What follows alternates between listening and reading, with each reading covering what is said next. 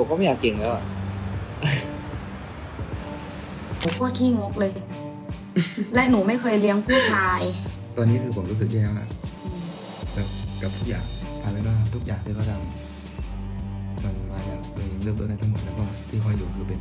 แมงดาอยู่ทุกวันนะครับโ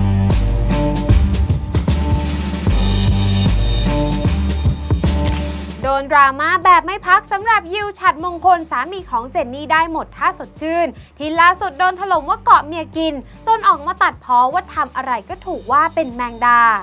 เรียกว่ายังโดนดราม่าอย่างต่อเนื่องหลังจากที่ก่อนหน้านี้ยิวฉัดมงคลเพิ่งโดนดราม่าทะเลาะกับเจนนี่แล้วปาของกลางไลฟ์สด ที่แม้ทั้งคู่จะออกมาเคลียร์ใจกันแล้ว แต่เหมือนว่าดราม่าก็ไม่จบลงง่ายๆ เพราะในโลกโซเชียลก็ยังมีการถล่มวิจารณ์หนุ่มยิวลามไปถึงเรื่องอื่นๆ ซึ่งอีกหนึ่งเรื่องที่หนีไม่พ้นถูกวิจารณ์ก็คือหนุ่มยิวนั้นมาหาสาวเจนนี่ก็เพื่อเกาะเจนนี่ไม่ค่อยทำการทำงาน วันๆซื้อแต่ของแพงๆแถมยังดูถูกหนุ่มยิวว่าเจนนี่เป็นคนลงทุนให้ทุกอย่างแน่นอนว่าจากคอมเมนต์ลบๆ เหล่านี้ ก็ทำให้หนุ่มยิวที่กำลังไลฟ์ขายของอยู่นั้นถึงขั้นบ่นตัดเพ้อแบบน้ำตาคลอว่าไม่อยากเก่งแล้วพออยู่แบบนี้ผมก็ไม่อยากเก่งแล้วอะ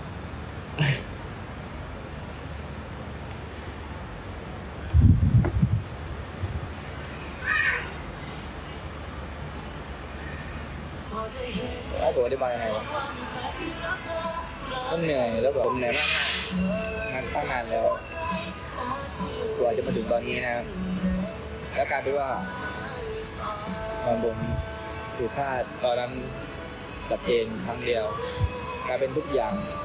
ผมก็ได้เห็นท่าแท้ของคนที่มองผมก็ยังมองว่า ผมมีทุกวันนี้เจนลงทุนให้เจนทำให้เวลาที่ผมสู้ดูตัวเองมาตลอดแล้วมันกลายเป็นว่าทุกอย่างที่ผมเหนื่อยมา มันแบบ มันมันพัง ซึ่งทางด้านภรรยาสาวก็ไม่นิ่งนอนใจรีบออกมาแก้ข่าวให้สามีกลางไลฟ์สด โดยยืนยันว่ายิวนั้นทำงานเอง ทุกคนไม่ต้องห่วงเรื่องการใช้จ่ายหรือภายในบ้าน เพราะเธอนั้นเป็นคนขี้งก แล้วก็ไม่เคยเลี้ยงผู้ชายด้วย ก่อนหนุ่มยิวจะบ่นตัดเพ้อกับภรรยาว่า แต่ละครั้งไม่ว่าอะไรออกไปก็แย่ รู้สึกแย่กับทุกอย่าง ไม่ว่าจะสร้างหรือพยายามแค่ไหน แต่ทุกคนก็มองว่าเจนนี่เริ่มต้นให้ทั้งหมด ยิวเนี่ยทำงานเองทุกคนไม่ต้องห่วงนะคะ หนูบอกเลยว่าถ้าเรื่องการใช้จ่ายหรือว่าเรื่องเงินของที่บ้านอะหนูโคตรขี้งกเลย และหนูไม่เคยเลี้ยงผู้ชาย แย่มากเลย ตอนนี้คือผมรู้สึกแย่มากอืมแบบกับทุกอย่าง เข้าใจ อย่าสนใจเลยตัวเอง ไม่ใช่ ตัวเองรู้ไหมว่ามันตอนนี้อะมันไอ้เรื่องคอมเมนต์มันไม่อะไรแต่แต่สิ่งที่เขาเสียใจที่สุดคือ ทุกอย่างที่เขาสร้าง ไม่ว่าเขาจะพยายามหนักแค่ไหนตัวเองก็รู้กว่าเขาจะทำธุรกิจได้กว่าเขาจะขายออนไลน์ทำแบรนด์ได้ปังขนาดนี้กว่าเขาทำรากฐานกลายเป็นว่าทุกอย่างที่เขาทำมันมาจากตัวเองเริ่มต้นได้ทั้งหมดแล้วก็ที่เขาอยู่คือเป็นแมงดาอยู่ทุกวันยังข้ามอะไม่จริงหรอก คนที่คอมเมนต์คือคนที่ไม่ได้ติดตามครอบครัวเรา ก็ใช่ คนที่เขาติดตามเขาก็รู้ใช่เขาเพราะว่าเดี๋ยวได้ว่าพูดอะไรออกไปในไลน์อะก็โดนด่าอีกโดนด่าทุกอย่างอยู่แล้วช่วงเนี้ยทัวร์ลงหนูเนี่ยคนที่มันอคติอะ คนที่เขาไม่ได้มาดูไลฟ์อะ นี่คนเป็นกำลังใจให้ตัวเองตั้งเยอะในไลฟ์เนี่ย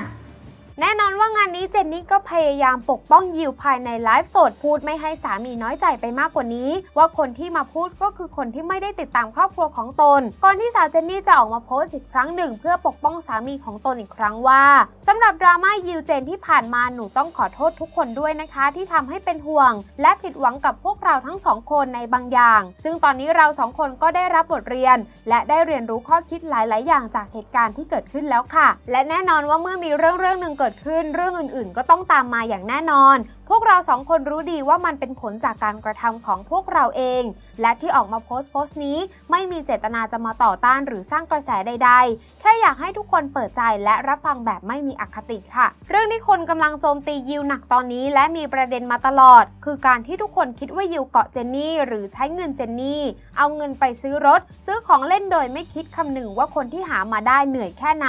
หนูขอยืนยันเลยนะคะว่าของทุกสิ่งทุกอย่างที่เขาซื้อเป็นเงินที่เขาหามาได้เองทั้งหมด และหนูไม่เคยเลี้ยงผู้ชาย หรือเปย์ผู้ชายตามที่หลายคนกล่าวหา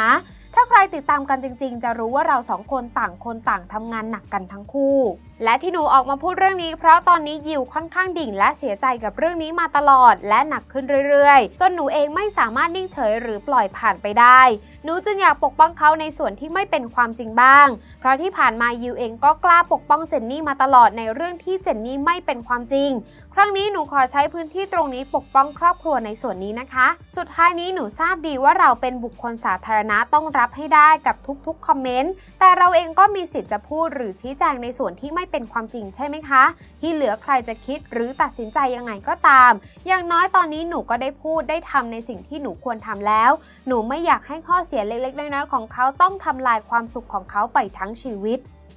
เรียกได้ว่าเจอมรสุมอย่างหนักจริง ๆ นะคะสำหรับครอบครัวของหนุ่มยิวและสาวเจนนี่ ยังไงข่าวสดก็ขอเป็นกำลังใจให้ผ่านมรสุมนี้ไปได้ด้วยดีค่ะ